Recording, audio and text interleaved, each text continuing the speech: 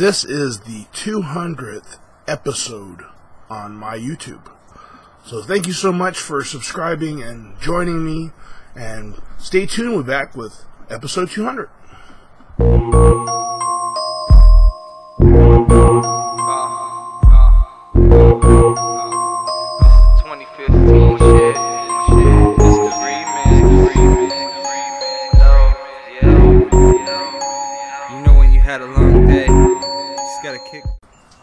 What's up, everybody? Welcome back to Cigars and Whiskey for our next cigar review. Today's review is going to be the Matilde uh, Oscura. And this is a big size, 6.5 by 54 stick. Now, this is a great stick. If you haven't had any of the Matilde cigars, I know this is the second addition to their line. Uh, and this is a combination of Dominican, Nicaraguan, Pennsylvania fillers, uh, and then they have a binder made of Sumatran wrapper, and the outside wrapper itself is San Andreas. And you know, when you get the the notes of black pepper and sometimes even sweetness, oh, to me that's just awesome. So stay tuned. We're back with our pre-draw. Into the pre-draw of our cigar, we're getting a great draw. It's not too firmly packed. It's not too loose. It's just right where it needs to be. And when you're uh, squeezing on the cigar, it's just slightly spongy to the touch, which for me is just perfect. That's what I always look for. The worst is to have a cigar that's loose and it starts coming off in your mouth and it just gets all over the place, or having it too packed that you got to sit and mess with it uh, to get it to light. But man, that's awesome. And I'm getting right off, right off the, the dry draw, we're getting a chocolate, oh, which is awesome. And we're getting, like I said, a little bit of earth. Just a slight bit of pepper you can notice on the foot. But man, this is going to be like the third cigar I've had of this line. This is a great stick. Uh, and people haven't really seen Matilde. I know that they have this line and they have another line uh, but a lot of people haven't tried them, or they just they don't see them locally because they aren't they're not they're a small batch cigar. So if you get a chance to see one or you can find one, I definitely have a link below uh, for Fine Ash Cigars. That's where I got this stick.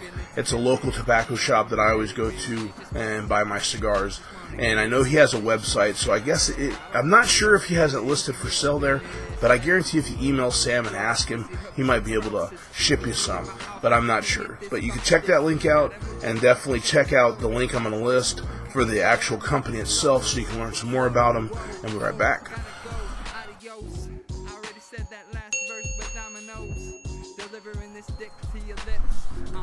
Welcome back, everybody, for the first third review of the Matilde Oscura uh, Toro Bravo, which is a 54 by 6.5 stick. And right off on the first draws of the first third, we're getting um, black pepper, a little bit of sweetness, a little bit of cocoa, and just a little bit of leather off of the retrohale. But so far, a really good stick. Now, you can look for my other link. I did match this up with a great uh, black spice rum called Squeal, which is a product of uh, Denver, Colorado. You gotta love a great draw.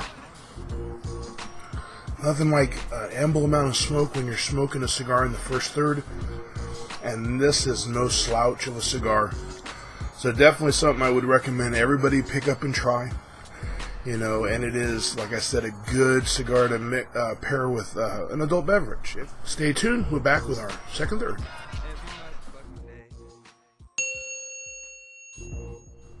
Welcome back, everybody, for the second third of our cigar review, the Matilde Oscura. Now, in this second third, we're starting to get, uh, uh, instead of the chocolate I was getting in the first or the cocoa, starting to pick up more of a mocha a little bit of a coffee mixed with that profile, and we're getting a little more of the earthy notes on the smoke and on also on the draw. And we're the um, and that sweetness is kind of turning over to that mocha, as I just said. Uh, uh, but we're starting to notice some cedar, uh, and cedar is always a great note that you get off a cigar when you're smoking it, and a little bit of creaminess on that retrohale and that, and that smoke itself is kind of like a um, because the the wrapper is like a dark oily wrapper. We're getting a little bit of that oilness not like an oil slick, but like a little bit of left residue on the tongue. And go into a shop and you like the cigar, and there's other people that like it in the area. Make make sure you voice that to the owner if that's your regular hangout, and let them know because if they realize that they can sell your cigar, uh, they'll carry it. But a lot of times they only carry stuff that people ask for, or they just have a high sell demand. But I guarantee if they put this in their shop. Uh, this is one of those cigars that there's going to be a, quite a bit of business for. Uh, so stay tuned. We're back with our final third. Welcome back, everybody, for the final third of our review of the Matilde Oscura. Uh, and this uh, Toro Bravo size. It's a 6.5 by 54 stick.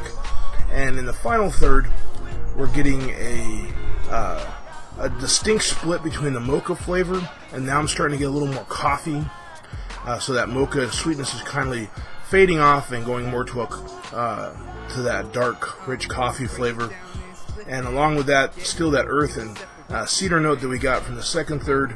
And man, it is still a phenomenal st- stick. This is one that I would call nub worthy to smoke it to the final nub of the cigar. But all in all, great stick. If you haven't tried it, definitely suggest checking it out.